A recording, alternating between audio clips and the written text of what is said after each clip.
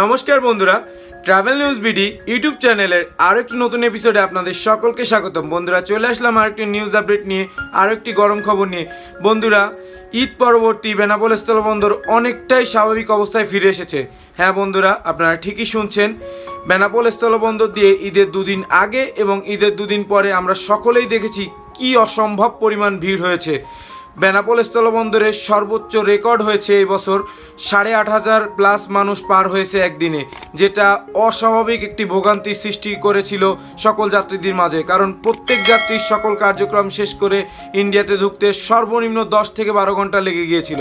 হ্যাঁ বন্ধুরা, সেই জায়গা থেকে বেনাপোল স্থলবন্দরের পরিস্থিতি অনেকটাই স্বাভাবিক হয়েছে। আজকে সকাল থেকে আমরা দেখতে পাচ্ছি বেনাপোল স্থলবন্দরে ভিড় একদম নাই বললেই চলে। অনেকটাই স্বাভাবিক পরিস্থিতিতে ফিরে এসেছে। সামান্য কিছু মানুষ, একশো দুশো মানুষ পার হচ্ছে প্রতি ঘন্টায়, যেটা অনেক বেশি স্বাভাবিকতা ফিরিয়ে এনেছে বেনাপোল স্থলবন্দরে। হ্যাঁ বন্ধুরা, আপনারা ঠিকই শুনছেন, বেনাপোল স্থলবন্দর দিয়ে আর দশ ঘণ্টা লাগছে না সকল কার্যক্রম শেষ করে ইন্ডিয়াতে ঢুকতে। অনেকটাই স্বাভাবিক অবস্থায় ফিরে এসেছে বেনাপোল স্থলবন্দরের সকল কার্যক্রম। এখন থেকে বেনাপোল স্থলবন্দর দিয়ে আপনারা খুব সহজে দু থেকে আড়াই ঘণ্টার ভিতর সকল কার্যক্রম শেষ করে ইন্ডিয়াতে ঢুকতে পারবেন।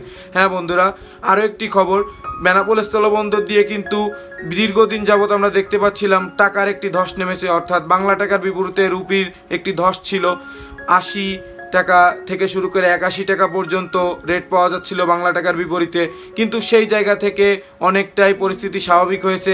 এখন কিন্তু আপনি খুব সহজে বেনাপোল স্থলবন্দর দিয়ে পার হওয়ার সময় আপনার বাংলা টাকার বিপরীতে ইন্ডিয়ান রুপি রেট পেয়ে যাবেন তিরাশি টাকা পঞ্চাশ পয়সা থেকে চুরাশি টাকা পর্যন্ত। হ্যাঁ বন্ধুরা, সব মিলিয়ে আমরা দেখতে পাচ্ছি বেনাপোল স্থলবন্দরের পরিস্থিতি পূর্বের থেকে অনেকটাই স্বাভাবিকতা অবস্থায় ফিরে এসেছে এবং সকল পরিস্থিতি স্বাভাবিকভাবেই রয়েছে। হ্যাঁ বন্ধুরা, আপনারা চাইলে এখন খুব সহজে বেনাপোল স্থলবন্দর ব্যবহার করে ইন্ডিয়াতে সহজে প্রবেশ করতে পারেন।